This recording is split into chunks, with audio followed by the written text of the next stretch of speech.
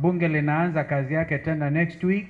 Nyinyi mkienda kule mjaribu kurekebisha ile mnaweza kurekebisha, lakini mkatae kabisa. Nilisikia story moja ya ajabu hapa. Chief Justice Martha Koome alipatia watu wa Kenya serikali, sisi tulikuwa tumepinga, akatoa uamuzi, hatukukubaliana nao, lakini tukaajibika. Sasa siingiliwe tena. Chief Justice Martha Koome ni mtoto wa Meru. Ni kweli, si kweli? Wengine wanasema ni kama kuna wanataka kufanya mswada watoe Martha Koome.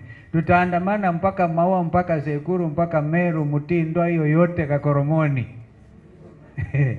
Hatutakubali mambo hayo.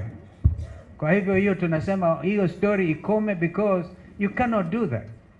Huku anakusaidia una, unakuwa what you want to be. The next thing wanataka kuteka nyara idara ya mahakama.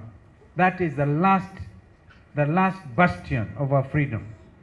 Already parliament mmetekwa nyara, lakini wale timu Azimio ambao mmesalia, kaeni strong, mpinge kabisa mswada huu ambao unaletwa ati housing bill.